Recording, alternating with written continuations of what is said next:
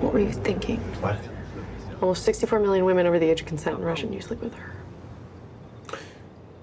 So we're not doing the what happens in Russia stays in Russia. We're still in Russia.